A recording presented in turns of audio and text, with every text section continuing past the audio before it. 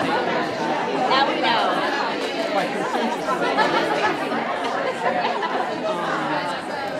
so that's, that's been a challenge.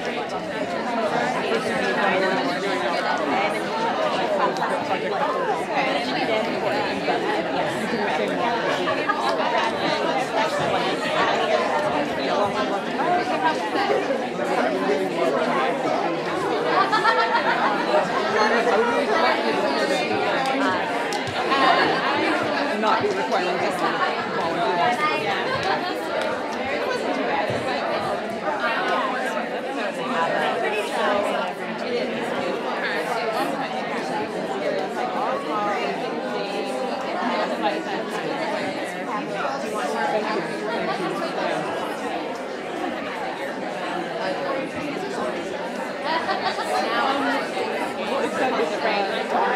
you guys actively reading? The, I, I have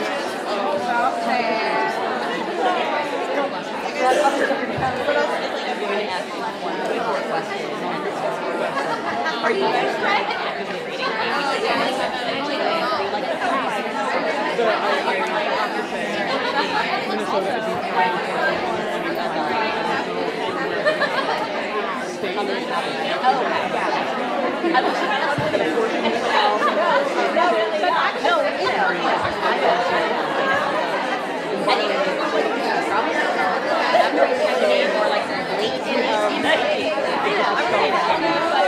We're so lucky to be Oh no, I love it.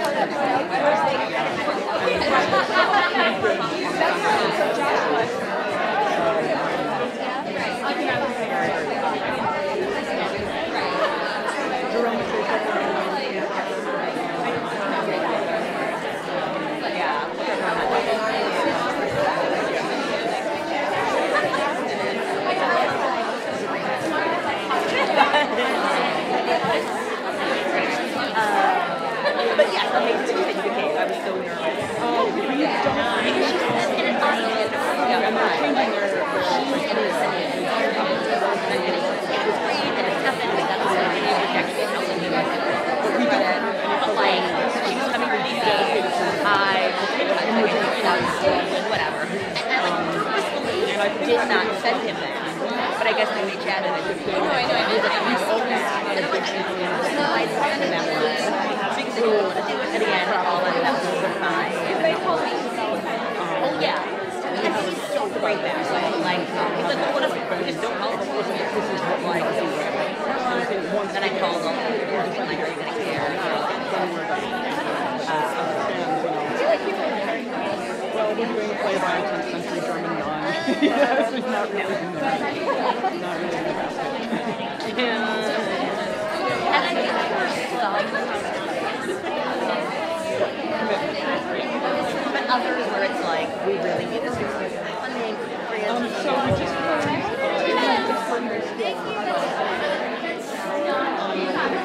and we do two main stage strategies usually um, talking about and Like, I like like, very real and like, I make I always want to do it. I'm just like, creepier than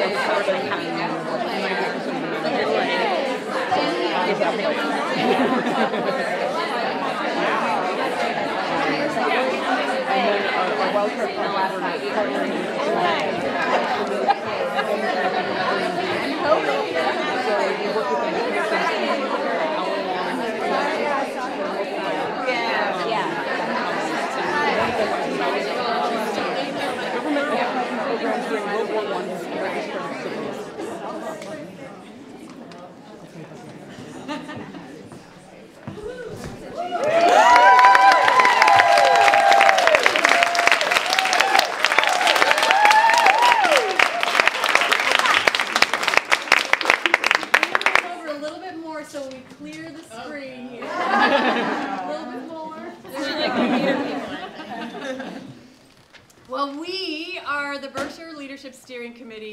Are so excited to welcome you here today. My name is Kristen Van Ginhoven.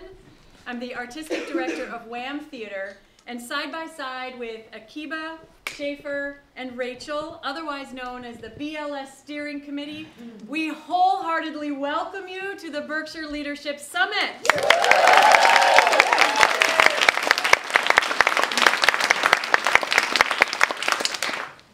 In August 2016, I was lucky enough to attend the Women's Leadership Conference in San Francisco at the American Conservatory Theater, where the results of the Wellesley Center for Women's Study on Women's Leadership in Resident Theaters were released. One of the authors is with us here today. As is the woman who started it all, Ellen Richard.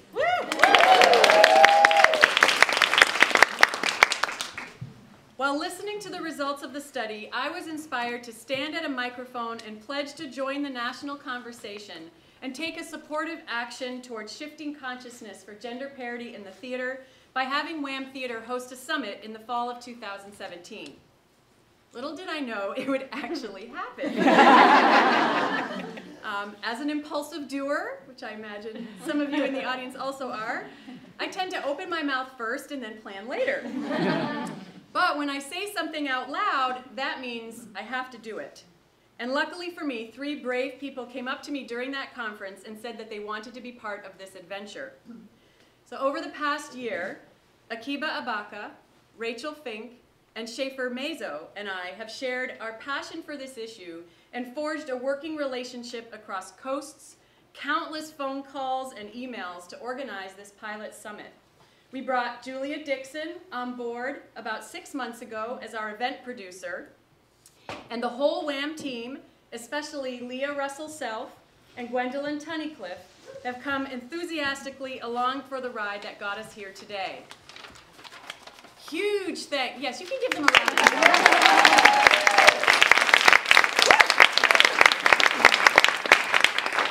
Huge thanks must go to Shakespeare and Company, for renting us this building for this summit and for being so helpful as we prepared for this weekend. I'd also like to give a shout out to the whole Last Wife cast and team and director who is one of your fellow cohorts, Kelly, who's sitting over there. And I'd like to thank the scenic designer, Juliana von Halbrick, who is, you know, available for hire, who is letting us do this summit on her gorgeous set. Thanks also to our summit sponsors, from those who gave $10 on GoFundMe to those who gave $1,000 or more to make this event happen. Thanks also to everybody who is live streaming this through HowlRound and to HowlRound for making that possible. We encourage everyone in the room and everyone live streaming to use the BLS UMIT, uh, women leading, and I think we've got them on a slide, and at WAM Theater hashtags and tags over the course of the summit and over the course of the live streams. Let's get some conversation going online. So we all said from the beginning that if we could get 75 leaders in a room and make sure that they had coffee, then this summit would be a success. but our true goal, with over 100 people in the room, is to create an event of intention, intersection, diversity, and action. We truly hope that your time with us over the next two days provides a great opportunity for personal growth and community building with each other as you walk your path to executive leadership. Enjoy the next two days, and thank you for all you have done to make it possible to join us for this pilot summit. And now to officially launch, Akiba is going to share our joint committee personal statement. Good morning. Good morning. Good morning. At our first bi-coastal phone meeting on December 9th of 2016, the four of us stated our goals for why we were taking on planning this summit. I saw this as an opportunity to protest. I wanted to encourage embracing multiple styles of leadership and provide resources for advancement. I'm tired of gender not being a priority. And I desperately want to create opportunity. Organizing the Berkshire Leadership Summit has been a grassroots community work from its inception to its execution. And along the way, we have come to recognize that this type of organizing is a truly powerful model. After weekly and sometimes bi-weekly or daily phone meetings and countless emails, the four of us have realized how challenging it is to embody brave spaces in action how hard it is to truly own our intentions and our impact. Our coming together today demonstrates how we are challenging traditional hierarchies. We have found in the planning of this summit that success and progress require us to bring our full selves into the space. The personal, the polemic, the privilege, and sometimes even the trauma. And that we have to live within the possibilities and the discomfort of it all. At touchstone moments in our planning and producing, we have each been challenged by the urgency of pulling an international summit together within a year of the release of the full Wellesley Centers for Women ACT report. Coupled with the day-to-day rigor of individual jobs, sustaining our livelihoods, and nurturing, and nurturing our personal and professional development, we each face moments of erasure, letdown, disappointment, and stress. What is remarkable is how we have pulled through in service of our individual and collective why. Earlier, we each stated parts of our personal why. the value of these intentions were brought forth recently in a moment that tested us as a team. It required that we face ourselves, that we listen deeply, that we lean upon others in the group as our advocates, that we acknowledge and check our privilege, that we apologize and acknowledge each other's hurt, and that we be brave and boundless in our need to be seen, heard, and respected in the way that represents our most authentic selves. We reminded ourselves about our common ground and our joint passion around this work, and that we are products of a problematic system in society. We have realized how important it is to not just hug it out, but to be real about the complexities of movement building and collaboration.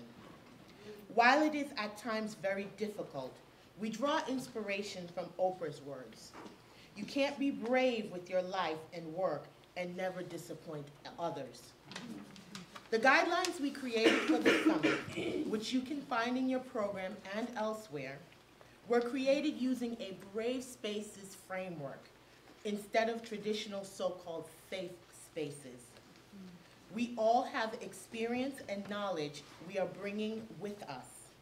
We want to create a space where knowledge flows in many directions so that we learn from and with each other.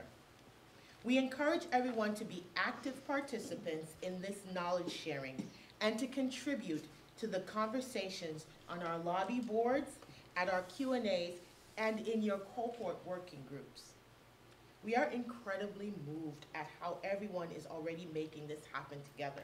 People are carpooling with people, you don't know, the Facebook page is just blowing up. People are sharing rooms, waiting for people at airports. Even our keynote speaker waited for attendees last night so that they could all get here. We recognize that this is a conversation that's greater than the people in the room. Uh, and we know that there are um, voices that are not in this room. Uh, so over the past few weeks, the steering committee has had multiple conversations about all the critical issues we haven't been able to include in the summit. There's so much going on in the forefront of the news and our social media feeds that fill our minds, our souls, and our hearts, and are also very urgent to discuss. It doesn't seem like a coincidence that this summit is happening at the same time as the Women's March Convention in Detroit. We wish we could cover every urgent issue over the next 48 hours, but we simply can't. Be may. The purpose of this summit has always been to focus on the four areas identified in the Wellesley study as the main barriers for women to leadership positions. Fundraising, producing, relationship building, and awareness building. We have done our best to do as deep a dive into those as we can over the time we have together. We look forward to other opportunities to discuss all of these other urgent issues that affect gender parity. Also, as you may have, um, as you know, we have created smaller cohort working groups for the purpose of creating a personal manifesto during your time at the summit. You will have two opportunities over Saturday and Sunday lunch to meet together in person and do the work of creating your personal manifestos, which will be presented during the closing plenary session on Sunday the pinnacle conversation, a clarion call for advancement. Your two lunchtime tasks are explained in your program. So once you have your box lunch, please find your cohort working group and enjoy your tasks together. Identified by your smiley faces on your Ah, name tag. Yes, very important. Um, our group understanding is also in the program. We hope that you will refer to it often and explore using it. We have as a steering committee, and it, you can tell it's serving us well. Um, as we kick off this important and impressive summit, uh, we also want to acknowledge efforts to incorporate processes of diversity, equity, and inclusion. This process has been used from reviewing and selecting of applications to selecting speakers, workshop leaders, and panelists. It's our desire to represent a through line through, in this summit that's bound to the principles of diversity, equity, and inclusion, that we can embody true intersectionality. You will notice these themes appear throughout the course of these next two days. In line with that, I want to talk about gender allyship and the place of this summit in broader discussions of diversity and inclusion work, including more sophisticated and honest conversations about gender equity. Before I came to Lenox, I spent a couple of days in Boston and visited my alma mater, Wellesley. I'm gonna cry, y'all. Kicking it off, it's gonna be weekend of crying. I have a Kleenex. I had one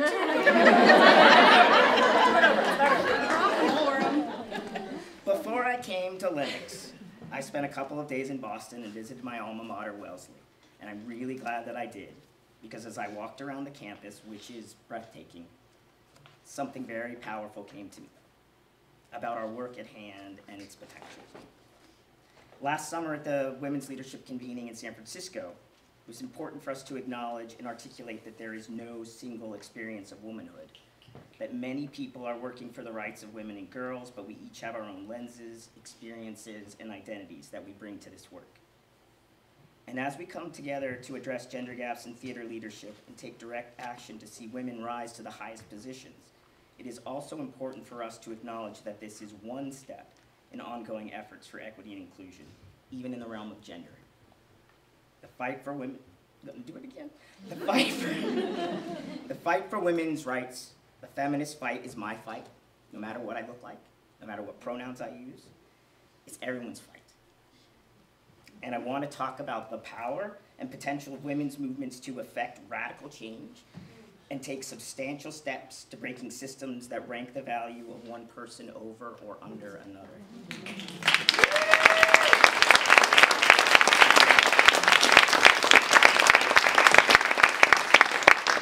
I am almost, I'm almost certainly not the vision of a Wellesley alum that the founders of the college when they decided to ensure education and opportunity for women and girls 140 years ago. But their vision, grounded in that struggle, and all of the work for women's rights that has come after, is the very reason I am able to strive for authenticity and be my true self. I hope, I hope we are strong, thoughtful, brave, and humble enough in this work to create opportunities beyond the visions we can imagine today. Let's do this.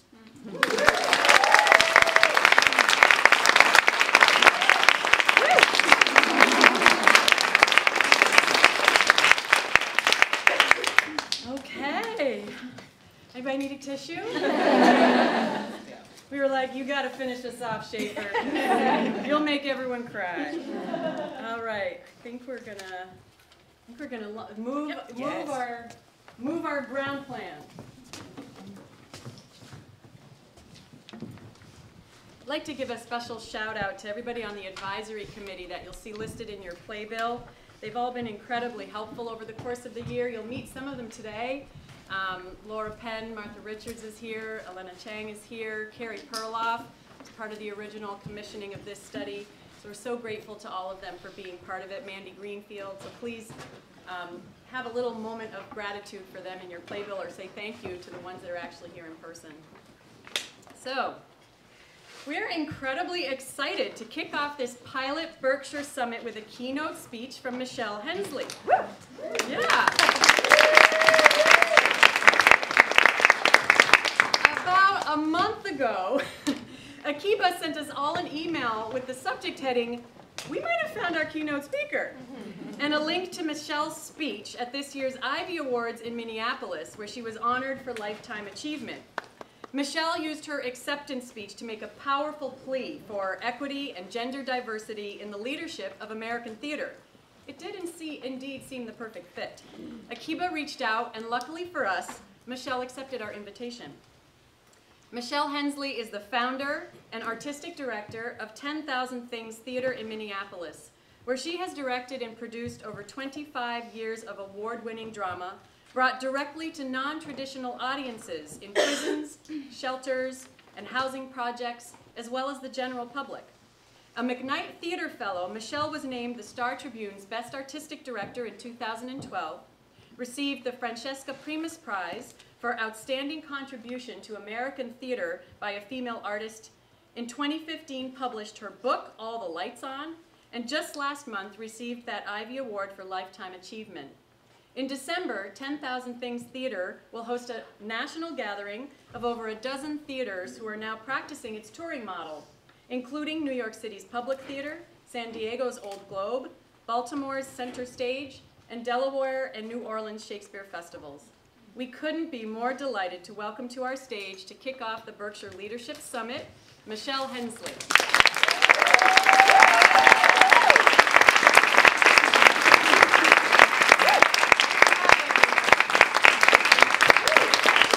I am so delighted to be here. I feel like you are my tribe. um, so I thought I'd just start out and give you a quick overview of what 10,000 Things does now. But where I really want to get to is how and why it all started and what the journey has been since then. Can everybody hear me okay? Yeah. Good? Okay, great. So, uh, 10,000 Things, we do three productions a year.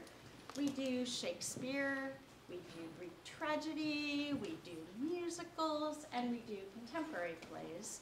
But each production we take to four or five correctional facilities, that could be men's, women's, or juvenile.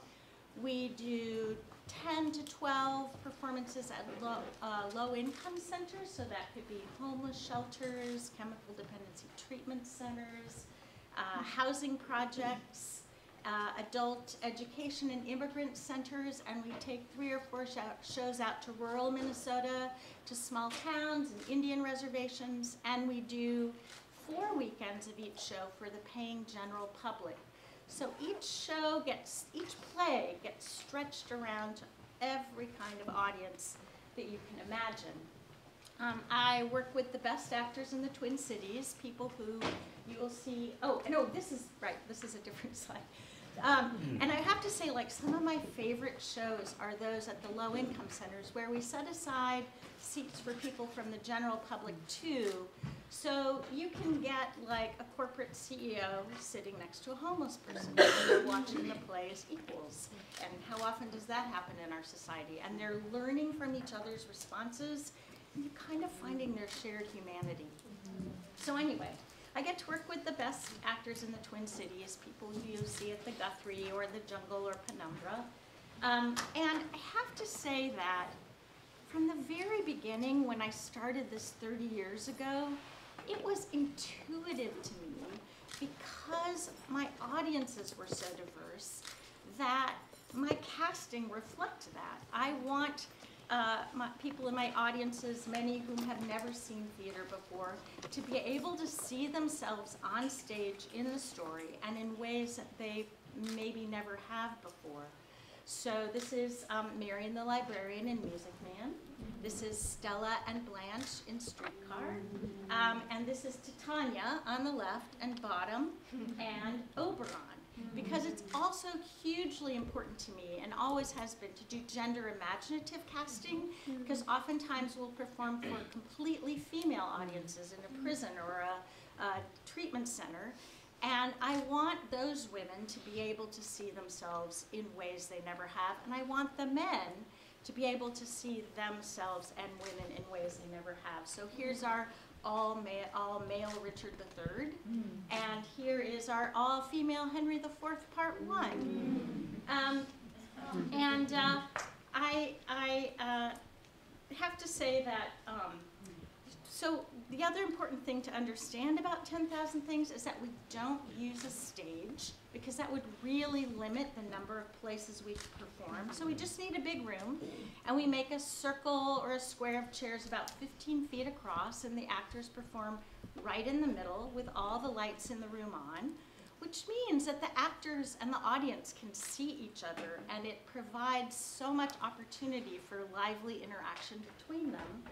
Um, and for actors in 10,000 Things, there truly is no place to hide. um, the principle of 10,000 Things set design is, yeah, but do you want to carry it?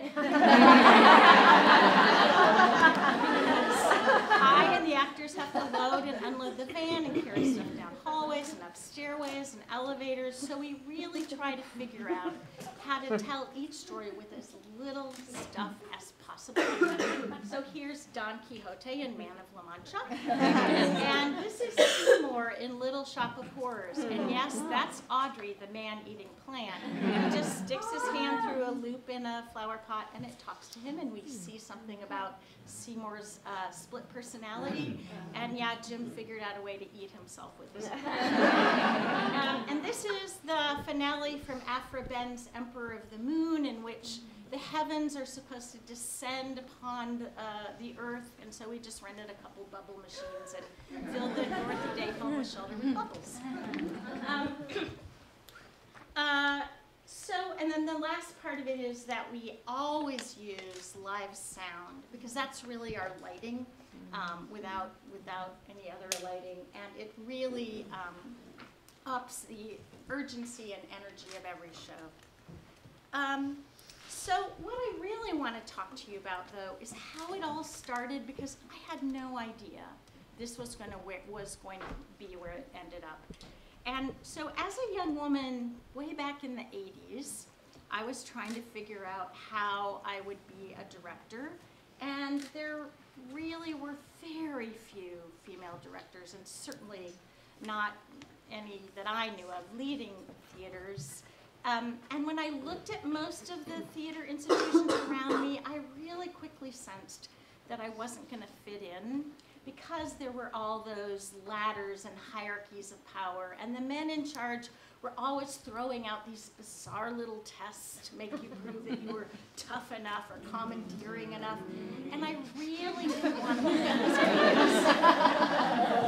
um, I really didn't want to play those games. And um, so I guess I sensed that I was going to have to make my own space where I could be myself. And I was, I couldn't have said this at the time, but unconsciously, I think I was making a space where I could work and live as an artist with my values intact. Um, and so since I didn't rush into that institutional world, I had time to think and ask a lot of questions. And two things were very clear to me. Um, I didn't want to spend my life as an artist only making art for wealthy people. Um, and I really didn't want to leave anyone out. And who came to my mind at the time was my grandfather, who was a farmer in rural Iowa, and I'd never seen him without his seed corn hat and his uh, engineer overalls. And I really couldn't imagine him feeling very comfortable in any of the theaters I had been to. Um, and I also really wanted to find an audience that cared about the stories that we were telling, to whom these stories might really matter to their lives. And that was not an LA theater audience. I was in LA at the time. And, you know, people were just there out of a sense of duty and obligation because they had a friend in the cast or they were casting directors and they would all rather be home watching TV. And everybody, and I think some of us do this too, right? Like you get really judgy when you go to a play and you're like, oh, well, that interpretation isn't as good as others I've seen and that set design doesn't really quite work for me. And I, I just wanted to find an audience that cared. So, um, so um, at the time, you know, like you do after grad school, you, you and your friends want to put on a play, and I really loved The Good Person of Szechuan by Bertolt Brecht. And um, it seemed to me that people without very much money would really understand that story of the woman, the prostitute who gets a bag of gold from the gods and um, her struggles to want to help out all her poor friends, but, but take care of herself as well. Um, and we knew we would never get people without much money to come into a theater. And as you know, the price of a ticket is really the least of it. So we decided instead of expecting them to come to us, we would go to them. So we found this little homeless shelter in Santa Monica, and uh, we started to rehearse. We designed a set that you could like hang on a clothesline uh, and put it in the lobby. And, and we were really scared because it's like a two and a half hour long play.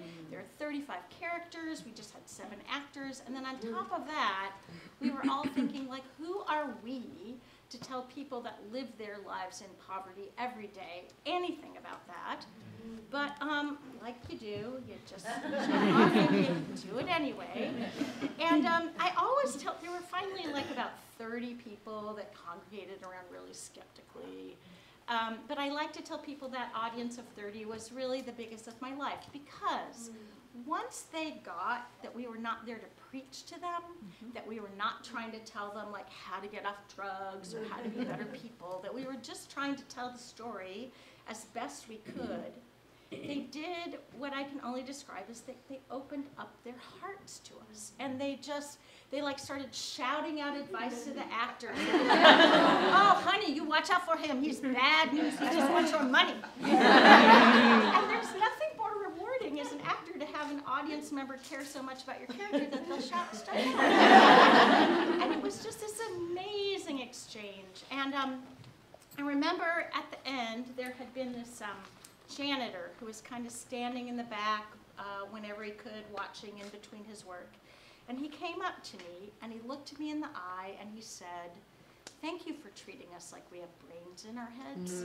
And I took that to heart. And that has always been a hallmark of 10,000 Things work ever since then, that we will never condescend to our audiences who know better than most everyone else that life doesn't have any easy answers. Um, and so I wanted to keep doing it. Uh, and so I taught myself all the stuff they never teach you in directing graduate school. I taught myself how to write grants and what a budget was, and I figured out how to make us a nonprofit.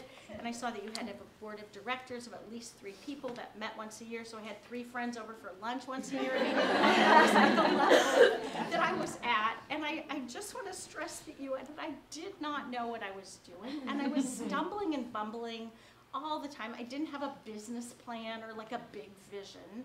But, um, and then I had a child. And um, I decided that I, LA was going to be a hard place to raise a child. I wanted to find a place where, as an independent artist, I could afford a house and use the public schools, and where there would be a vibrant theater community and support for the arts. And that turned out to be the Twin Cities for me. That turned out to be um, a, a really great home. And so, you know, for the past 30 years, I've just been on this journey to take the big stories of theater that wrestle with these fundamental questions that human beings never really seem to be able to get a good grasp on to people who have probably not seen much theater before and making some amazing discoveries as a result. And there's so many stories I could tell you, and you can read the book if you want. But um, I thought I'd share one, uh, just so you get a sense of the kind of stuff that we've been able to learn from our audiences. Um, and I, so I want to tell you about the first time we did Shakespeare. And again, this was like six or seven shows in, and I had never directed Shakespeare before, and it was very intimidating. But I was reading Measure for Measure, and you know, it takes place in palaces and brothels and prisons and courtrooms, and it's about justice and being judged by others and often being judged very unfairly, and that's something in our audiences really know a lot about. And I thought if I could just make it clear, I think they would really like this story. Um, and, and so just as a side note, it doesn't, clarity has nothing to do with changing the language. It has to do with how you act it. Um, and also, I want to say that as a woman director who does direct quite a few classics, we're always wrestling with the misogyny in the plays, mm-hmm. right? And, and Measure for Measure has horrible misogyny in it in many ways. But one cool thing, and but I actually kind of love wrestling with it. I think it's kind of fun. And one cool thing I discovered is if you make the Duke a woman, mm-hmm. then everything kind of starts to shift. Mm-hmm. And I remember this one homeless guy came up to us once after having seen Measure for Measure, and he said, "This is, you know, this is kind of like that TV show Undercover Boss." that is the best summation Measure for Measure. it's about a woman who's in power, and she goes into hiding to see what her, you know, male underlings do in her absence, and it suddenly becomes a very interesting play. But anyway, the first time we did it, we were performing at the Dorothy Day Center for the Homeless. And um, again, we were totally scared. And I just have to say, still, almost every time we do a 10,000 Things tour, there's always a moment where I go, oh my God, I must be out of my mind. but um, we had a very uh, experienced uh, Shakespearean actor playing Lord Angelo, and it was his first 10,000 Things show. And so there's this scene where, you know, the young nun Isabella comes and she pleads with Lord Angelo to spare her brother's life. And she leaves and he starts lusting after her and he's left alone on stage and he has a soliloquy. And it, his soliloquy goes, what's this, what's this? The temptress or the tempted, who sins most? And there was this homeless woman sitting right next to where he was standing and she looked up at him and she went, I think it's your fault, shithead.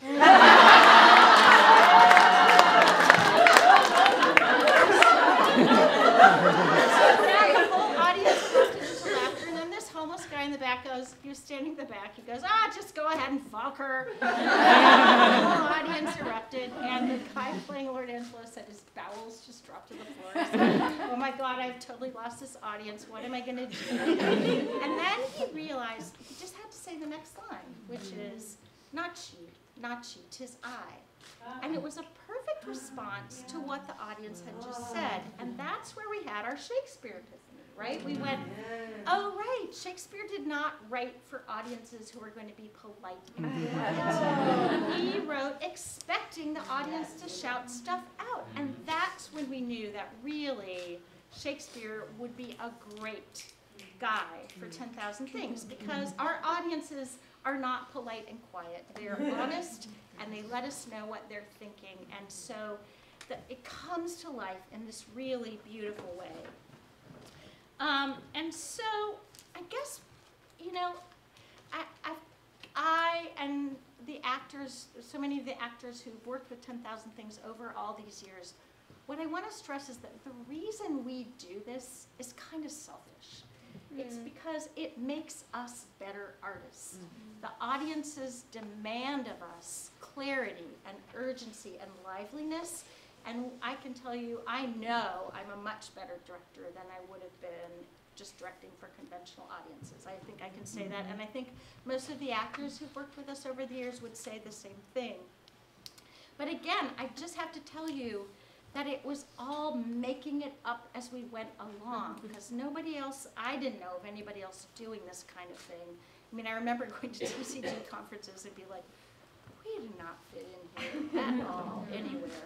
Um, but, but I, I kept hold of that one desire to bring the best professional theater to people who don't have access. And that kind of guided me to, and us to kind of shape an organization um, around the necessities that you have to have when you do that and around our values as, as human beings. Um, and so one of the, the main thing when you do this kind of theater is you have to have good actors. You know, you don't need set or lights or costumes, but you've got to have the best actors. And so, and also because the actors I work with are pretty much always my friends. um, it has always been a hallmark and a priority of our organization is to pay actors fairly. Um, and and uh, that does not happen in this world. We live in a world where the only people who pretty much make full-time salary and benefits are administrators, and that's always seemed really unfair to me. So that has always been the number one priority in our organizational spending. And I'm happy to say now, like 10,000 Things, our budget is about $750,000, $800,000 a year. But we are among the very highest paying theater mm. companies in the Twin Cities. I think on an hourly rate, our actors make as much as they do at the Guthrie. It's not as many hours, it's only six shows a week. But sometimes they're kind of glad of that too. and my goal is when I leave 10,000 Things next at the end of this season, that we'll be paying our very highest actors $952 a week, which is the full-time equivalent of 50,000 a year. And like, what actor gets full-time?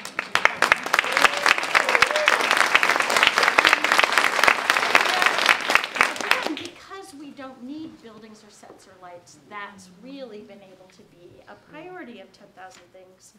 Um, for the first 10 years of 10,000 Things, it was just me doing everything. Um, and I, you know, work like we all do, working temp jobs, teaching ESL. I remember um, my 35th birthday, I had a temp job in an agency that like did created ball bearings for trucks or something, and they showed me to the filing room, and I just put my head on my down on the desk and started crying. I was like, "What am I doing?" But um, a few years later, I was finally able to start getting a paycheck. But so the staff, again, because we don't have a building, that I never really wanted that. Um, I've gradually been able to add staff, pretty much all women, one gay man. We all have families, children. So everyone's happy to work out of their homes on their own free time and communicate by email. And we have a staff lunch at my house once or twice a month. So that's been very organic. Um, and um, our rehearsal schedules too. Like I had a child. I wanted to spend time with her. So at 10,000 Things we rehearse 10 to 3, Monday to Friday. And I'll tell you what, you can get it done in that amount of time. And having two days off in the row is so productive, right? So many things simmer and bubble in the back of your mind. And so many of the experienced actors I work with are so grateful to have that kind of rehearsal schedule because they have families too. Um, and again, uh, you know, casting long before diversity, equity, inclusion were words, that's, you know, the uh, casting, how we do it has, imagination in that has always been fundamental to 10,000 things of value. And because actors are so important in our organization, I wanted to incorporate them into our organizational life. Um, this kind of divide between artistic and managing, I, I, I don't understand that. And, and, I guess because I taught myself all this stuff, I've been able to see how the two can weave together and blend together. So we have this artist core of 16 very diverse and very opinionated artists who we mm-hmm. pay as consultants mm-hmm. to brainstorm ideas for their organization, to come to board meetings, to come to staff meetings. There is no sweat equity at 10,000 Things. Actors always get paid. And because they are integrated into our organizational life, it's just so much more lively and energetic that way. Mm-hmm. So those are ways that I've been able to shape the organization around the mission and, and, our, and our values as human beings. So, okay.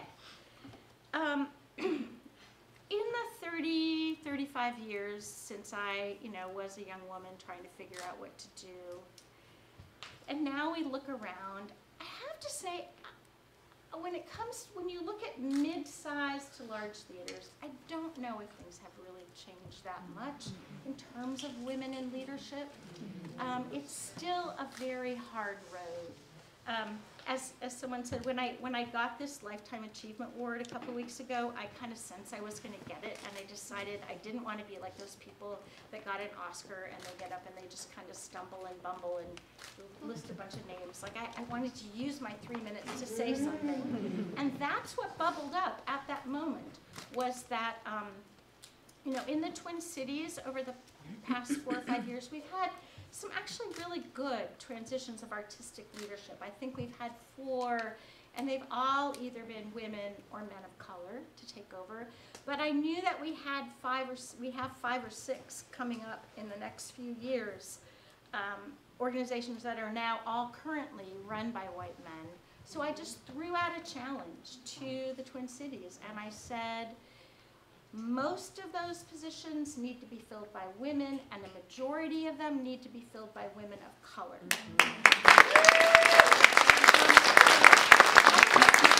That was received very enthusiastically. And I, and, um, I said, because when you put a woman in charge, and I, there's a big caveat here, it's not hundred percent. Um, we have to really deal with the fact that fifty-one percent of white women voted for Donald Trump, mm. right? And especially as white women, we need to reach out and figure out what is going on with the internalized misogyny.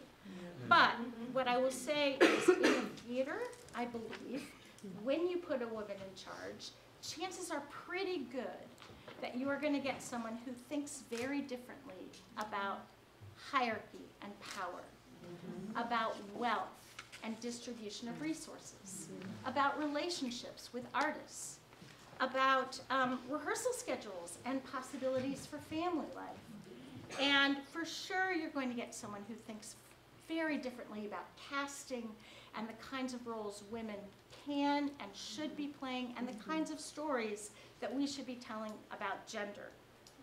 Um, and so the thing that I didn't get to say that I wish I had said, but there wasn't time, was that it's not just enough to hire a woman, I feel. Like, I, I, I have not worked with institutions, but I, because I, I just couldn't, I had to make my own at the time. But I feel like, um, from talking to my friends who are trying to, um, it's not just enough to hire a woman. You have to make space for Yes. her be she is, and you have to support her to make these changes that our institutions so crucially need. And so that is the call I would put out to all the boards and people who are doing the hiring. Make space, welcome the change because your institutions need it, and support the woman as she leads. Um, um, who gets to decide what stories get told matters. Because who gets to decide how those stories are being told matters. And I throw out this challenge to you. Being very clear about just who you are actually telling those stories to. And who you would like to be telling those stories to. And what you are going to do to make that change mm. happen hmm. matters most of all. Yes. Thank you. Mm.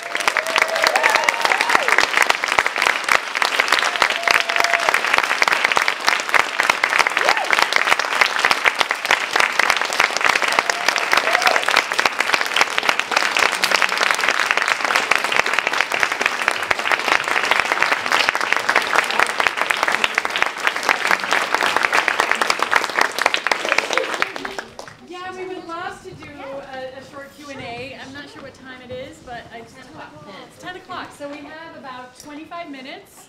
Um, we would love to field some questions. I think if you're happy to kind of facilitate that, then we'll just. turn the light, all the lights on.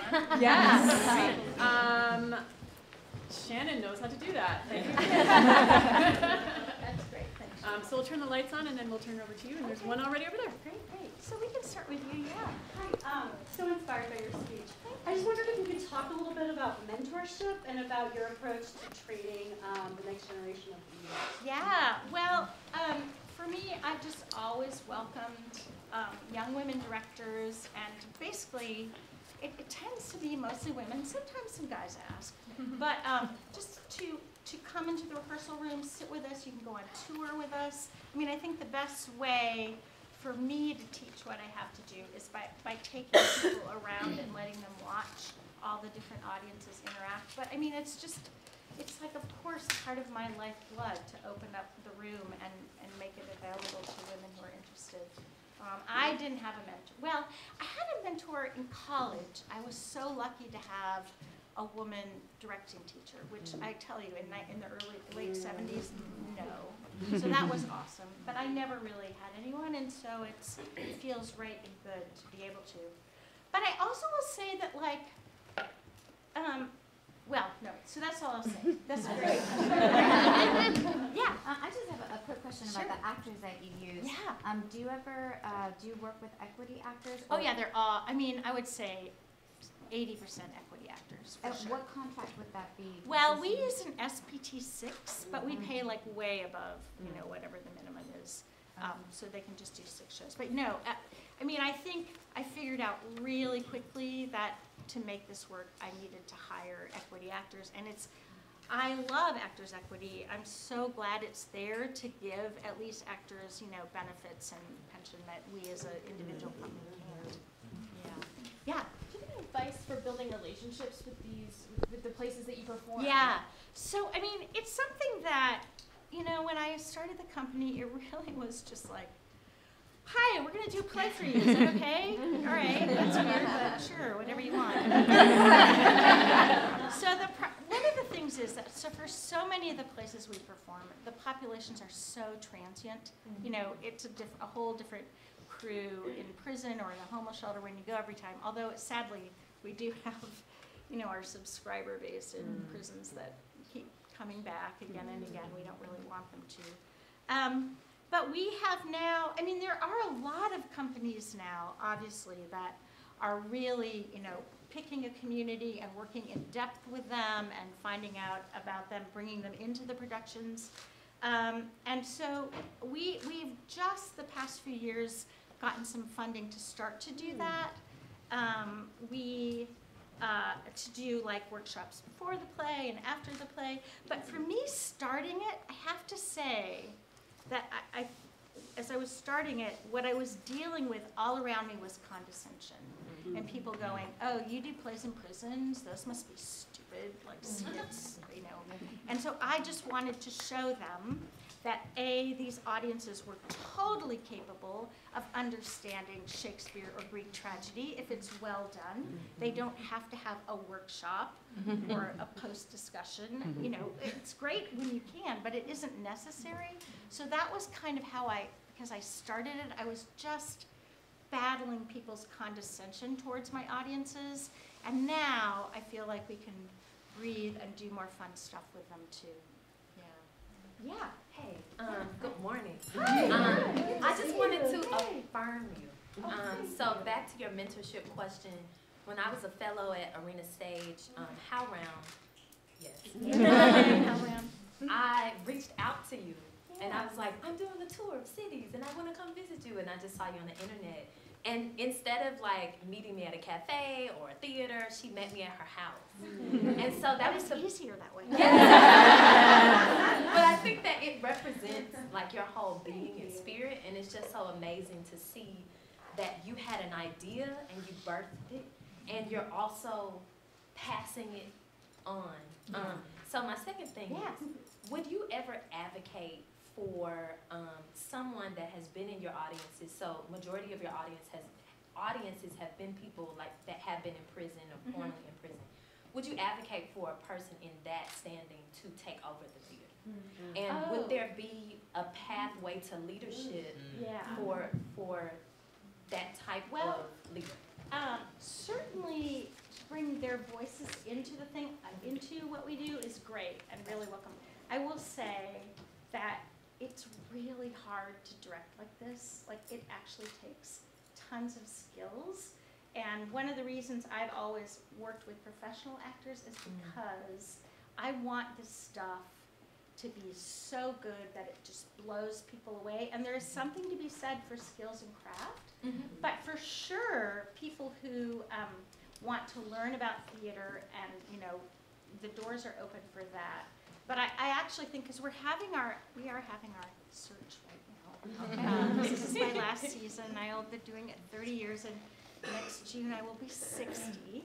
Um, And I'm actually not um, on the transition committee, I felt that that was really important to step back and let the organization take over leadership. So we have a committee of artists, staff, and board members who are doing the search. Um, so I just know about it indirectly, but I will say that of our, um, and again, this was not the objective of them at all, but of our seven semifinalists, they are all women, and half of them are women of color. So- so what we do is, is the professional thing, but, um, you know, that may be something that the new leadership wants to go into more and more, for sure. Yeah, yeah. Back when you first started the company, what is the biggest challenge you had to face and how did you overcome it? I think it was that thing of condescension, actually. Um, and, and just, and really what, what it is, it is like once people come, they kind of, it's, it's the audiences. What I, what I wanted people to understand is the audiences make the work better. Um, and so actually, one of the things I used to get that to happen was critics and really like getting them to come to prison and watch the show and kind of see, kind of be blown away. And that's why it's also been really important to me to make sure that we also perform for the paying general public. Um, because I want to make, make sure that what we do speaks to them too, and so that there's no whiff of condescension involved. And then, of course, they become donors and all that stuff. So I think that was oddly the thing that I had to fight most. The other thing was, of course, my own lack of confidence and not having anybody else doing it, and all the time going, oh my God, what am I doing? This is so weird. but, um, you know, over time, just um, being able to become more and more confident and go, oh, I guess I am a director. Oh, okay, I guess I can do Shakespeare. You know, just letting that build. But it took time. It really did to overcome that. Good question. Yeah. I'm curious, you talked about how your staff structure evolved and having the artists involved in decision making. Hmm. What happened with your board to go from three friends in your Oh, kitchen yeah. to a seven hundred thousand dollar? Yeah, that's a great thing. So I did kind of figure out finally that like, oh, a board could do more for you than just come over for lunch. we actually have some great um, funding in the Twin Cities for organizational development. And so I was actually able to bring on kind of like, uh, get a grant to hire like a matchmaker for the board, and he would introduce me to people and take them to see shows. And so, what, what, the way we define our board now is people who have access to wealth. But wealth is not just money. Wealth might be people who have connections to communities that we want to serve. Um, it could be all different kinds of ways of defining wealth, and certainly people who have money are part of that wealth, and really important to being able to, you know, get up to seven hundred fifty thousand. But it, I really, to have a diverse board, we wanted to expand our definition of what wealth is, and um, that, that's just kind of fundamental to how the company thinks about And does your board operate on any kind of a different, uh, does it operate in the traditional way? Or is, is Well, how that works It's a good question, because different? I've been, I, I- you know, it's a founder-led organization, so I, I just, it's kind, I feel like putting together a board is kind of like casting a show. You want people that really work well together, who are really enthusiastic, fun to be with, and I think they have kind of let me do pretty much whatever I want, which is nice. I don't know how it will be, I mean, I'm really encouraging them to keep that attitude for whoever is the next um, artistic director, because I think there's something to be said for trusting artists with the artistic vision, and that's actually been important, like, they don't get to be involved in any of the artistic decision-making. It's, they're there to support and help us build our wealth, whatever that might be. Great, um, let's go over here, so, yeah, uh-huh. Um, I'm curious, have you done any work conditioning playwrights to write specific work for you? Yes, abs- such a great question. Um, so the interesting thing when you look for contemporary plays uh, to do for our audiences is that you discover that a lot of playwrights, I think unconsciously at least, write for um, upper middle class and white audience. Um, and those stories for our audiences are either too small, you know, they're about like my marriage isn't going well, or my career is not going where I want to. or they're actually plays about contemporary poverty, and, and which is good because wealthy people need to start understanding something about living in poverty. But our audiences know that. They don't want it. We don't do plays about contemporary poverty because you know, A, they know more about it than we do, and B, they live it every day, and it's really not fun, and you really don't want to spend more time there if, than if you want. So, what um, I did with uh, P. Carl, who um, is now head of HowlRound, hi P. Carl, um, and who was on our board is at the time, and she wa- he was head of the Playwright Center. Sorry, it was she back then. Um, was put out a national challenge to playwrights to say, what story would you tell if you knew everyone was going to be in your audience? So, in addition to wealthy white people, there would be homeless people, immigrants, inmates, Indian, Native Americans on a reservation. And it, what it does is it makes playwrights think bigger in a funny way, kind of like Shakespeare did, because his audience contained people of all classes. So, um, and so we were so lucky for the past uh, five years, we have had a Mellon playwright in residence who is awesome. Her name is Kira Obolensky. And she understands kind of this fairy tale world, oddly, that we need to create where all of us can meet together on a level playing field. And she's really gotten to, she goes to all our shows, she's really gotten to know all our audiences. And so that's been really wonderful. And um, I hope whoever um, takes over the theater will be able to really um, push this idea of like, who are you writing for, really? What, you know, and just to make playwrights aware of unconsciously at least what they might, who they might be writing for. Yeah. Yes. Um, I have two questions. The first is when your paying audience is uh, seeing the shows, is that in a non-traditional theater space? Absolutely, Great. exact same way. They see it, they, and they actually love it. Um, we perform generally at this place in Minneapolis called Open Book, which is like a loft literary center where people do their readings, writers do their readings. So we just make a big circle of chairs, all the lights are on, and they love being so close to like actors that you usually have to like strain to see at the Guthrie, and you're kind of surrounded by the action and the urgency and the immediacy. So yeah, just the same for everybody. And speaking of actors, do Yeah. you remember in the beginning, how did you create actor buy-in when you were telling the actors, you're auditioning for this experience, Yeah. it's not going to be what you're used to? Do you remember what It's you did? It's interesting. I think that, you know, the people who are in theater, not just for their own self-aggrandizement, are just like, yeah, that sounds great. And so I kind of get rid, like I don't even have to deal with all the divas and stuff, because they're right, and they're great actors. I mean, that's the thing, their, their generosity, um, and their humanity, and their openness to being playful, it's, those are the people you want to work with, so it's a nice self-selecting process. Yes. I was wondering if you could talk a little about um, your revenue breakdown. I imagine it's mostly contributed and how you go about Yeah. fundraising. So um, I will say when I first, again, like this idea of not having any business plan, when I first started 10,000 Things, I was just like, okay, we'll write a grant. So I was never charging, you know, like you're not going to charge a prison to do a play, right? And then one day um, it occurred to me, we we would always do one show for the general public, and then I was like, oh, people seem to like this.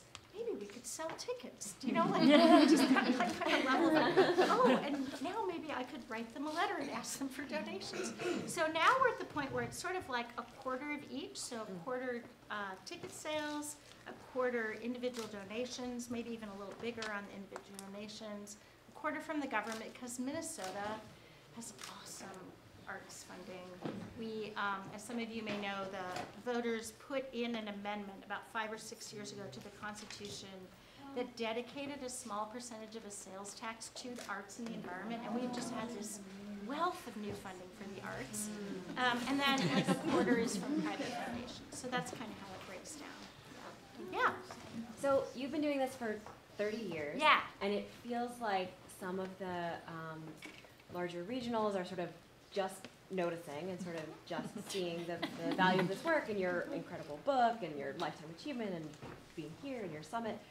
And I wonder if you have any sort of red flags or nervousness about um, uh, some of the larger theaters where this isn't core to their mission, kind of just Yeah. now getting on board?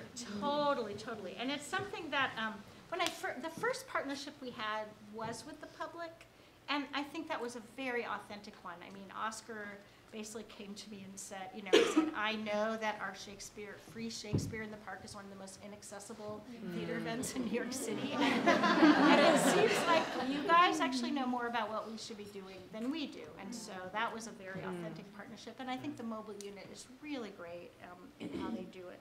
But um, yeah, I mean, the thing that's good about large theaters is that they have the resources to pay actors well, which is really, really important. Um, but lately, I've been really supportive of small companies springing up to do it. We just had one that started in um, rural Pennsylvania called True North, and um, Cripple Creek down in New Orleans, well, they partnered with New Orleans Shakespeare. Um, and there's a little one in New York City called The Light Fantastic. And there's something, to, so what I, when we have our conference in December, what I'm really interested in is how has, in those large institutions, how has this work changed the institution, started to change how you think about audience and how you do theater and what your priorities are. And um, so that will be really interesting to see. And there's something really cool if you're a company and you just do this kind of work. Like that's all you do. And um, so that's really interesting too. And so we'll see. I think it's all unknown and very interesting, but good question. Um, yes. Do you feel that the size you're at now is the size the company needs to be? Or do you feel like it needs to continue to grow in terms of Yeah. making money? And when did you start earning an actual salary? Yeah? I think I was, that's such a great question. I think I was 40 when I finally was able to start getting a monthly paycheck. It was amazing. Um, and I will also say, like, again, this thing about being a woman. Um, I, at the time, I had, my board was, I think, all women and one gay man, as often happens. And they were like, I was like, oh no, but I shouldn't get that because we need to pay the actors more. And they're like, no, this is not about you. Mhm. This is about the organization living beyond you. And the only way that's going to happen is if you get a salary and we have the infrastructure to support that. But right, like that's my training was like, oh no, I don't, you know, like. Right, so that had to go. Um, and then, uh, and then wait, well, you had The another. size question, Oh yeah. what it is now. So I feel like once we're able to pay our actors that nine hundred and fifty-two dollars a week kind of thing, I think everyone at ten thousand things feels like this is a good size. Um, we all we only do three productions a year, and we like that. We like kind of having summers be a little looser, especially when you live in Minnesota and there's only three nice months of um, and there's if so we decided when we thought about growing, we decided the way we wanted to grow um, was just getting theaters around the country to adopt the model in their communities, and that didn't really take any money on our part. Um, so it just feels like a healthy size. Everyone on staff gets fifty thousand dollars a year or full-time equivalent, which is like livable. In the Twin Cities, it's actually livable. So, I mean, it feels about the right size for us and where we want to be. Um, you had a question, yeah. Oh, yes. Sorry. It's okay. Uh, so this is a possible two-parter. Uh, Yeah. So my first question is in regards to programming and the tour. So whenever you are programming your season, choosing your works, do you, once you have that solidified, do you choose, oh, how do I word this? Do you um, choose where you're going to tour based on uh, what the play, the topics of the plays are, the themes are, or do you have like a set route that you typically stick to, maybe Mhm. adding or subtracting different Yeah. steps way? I think the idea is in each show we choose, we, I try to imagine all our different audiences and how they might engage with it. Sometimes it skews a little bit, like we're like, okay, we're not doing this one for low-income seniors, or we're not doing this one for teenagers, you know, so we kind of adjust it a little bit that way.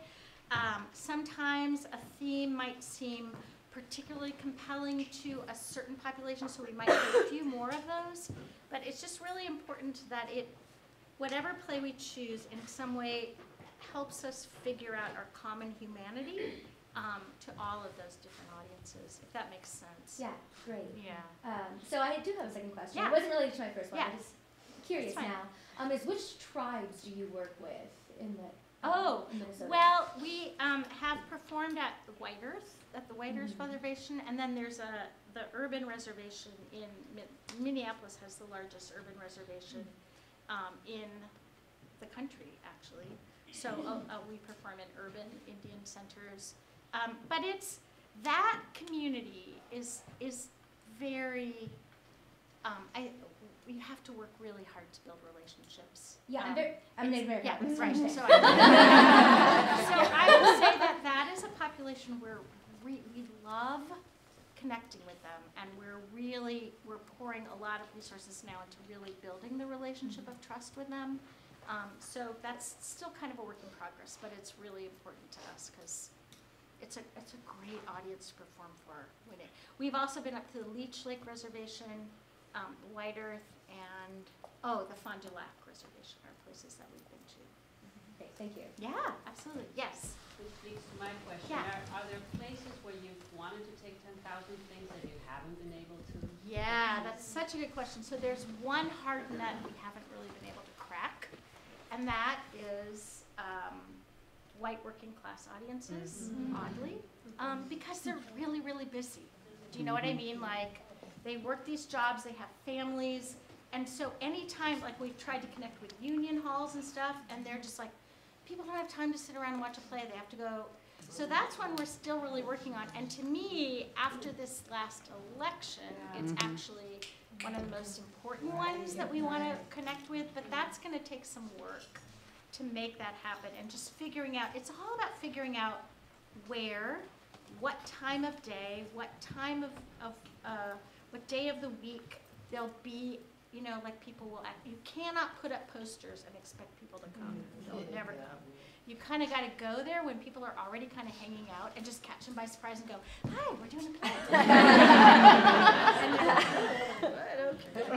and then they end up really liking it. But um, people who have not seen theater before, in general, really don't want to see it. Mm-hmm. You know, like they don't mm-hmm. think it has anything to do with them, and so you have to break down those barriers. But I also say that I think our actors feel like breaking down barriers that non-traditional audiences put up is often much easier than breaking down the barriers that traditional audiences mm-hmm. put up. You know, that judgy thing I was mm-hmm. talking about?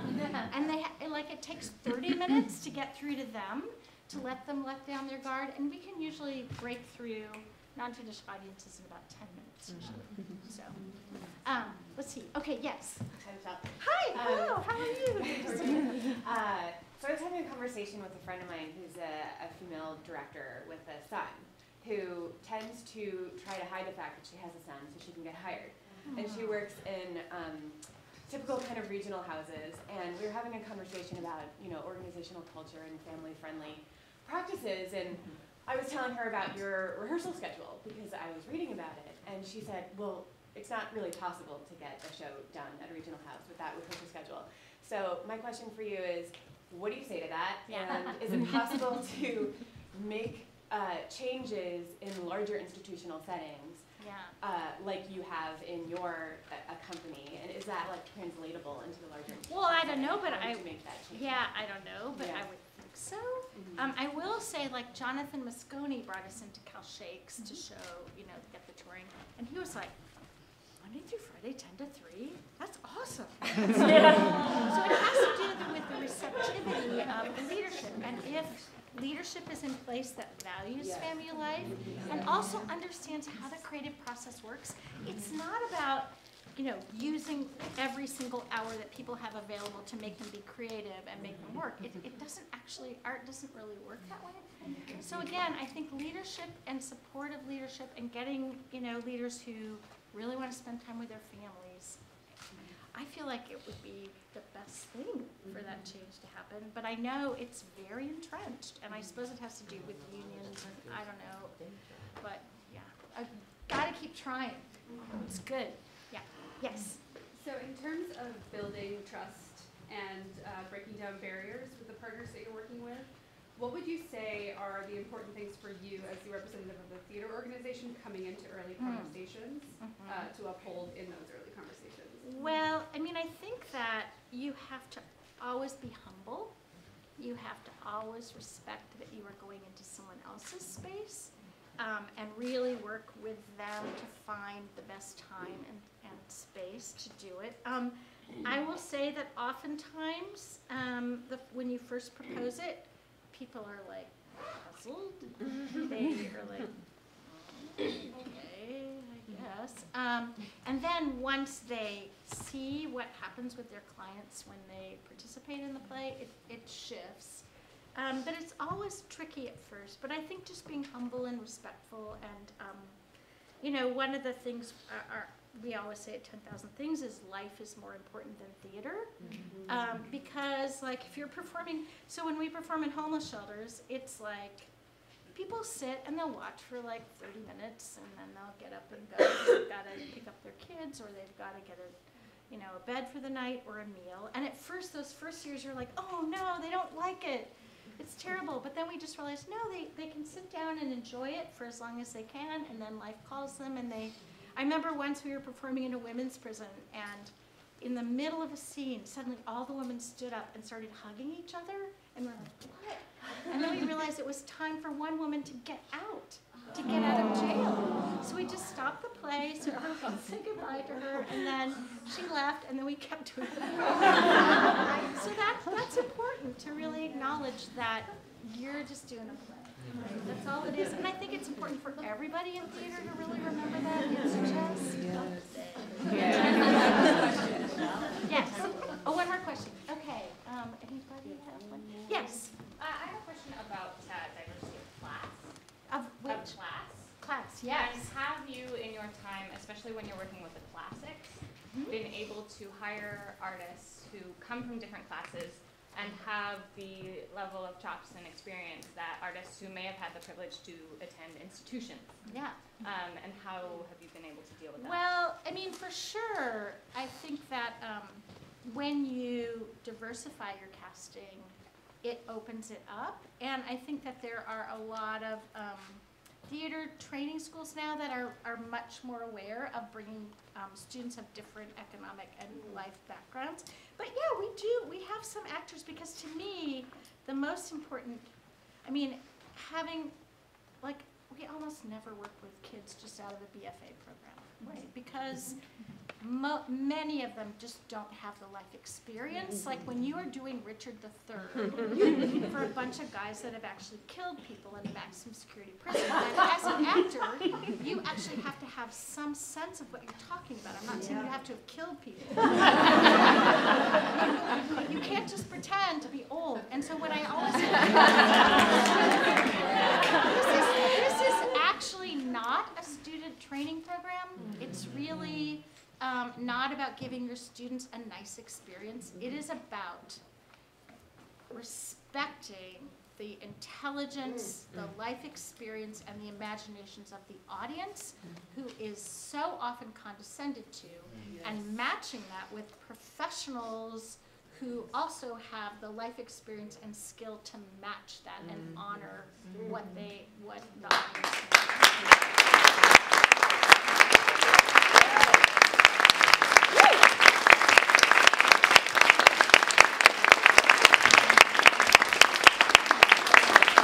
What a wonderful way to launch this summit. Let's give Michelle another round of applause.